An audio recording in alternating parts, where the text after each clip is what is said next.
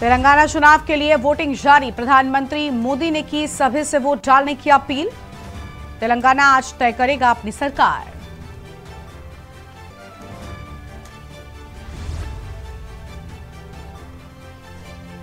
इक्यावन हज़ार युवाओं को नौकरियों की सौगात।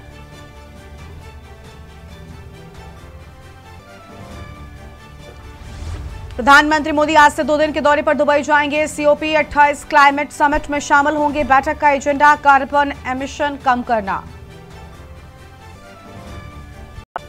मजदूरों के रेस्क्यू के बाद सीएम धामी ने इगास पर्व मनाया। सभी इकतालीस मजदूर स्वस्थ 48 घंटे ऑब्जर्वेशन में रहेंगे।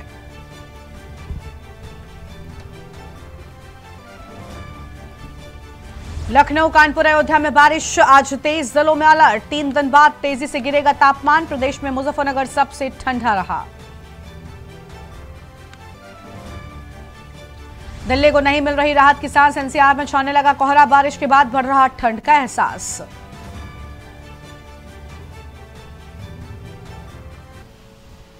देख रहे हैं खबरों का सारथी।